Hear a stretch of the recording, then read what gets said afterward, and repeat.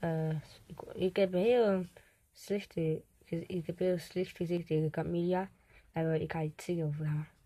Het spijt me dat ik heel gemeen was en ik, dat ik je pestte zo. Dat ik je, en, ik wil je zo sorry zeggen. Sorry hè, Camilla. Ik ga dat niet meer doen. Ik ga sorry zeggen, sorry. Ah. Ja, ah, kun je mij vergeven alsjeblieft? Oké dan.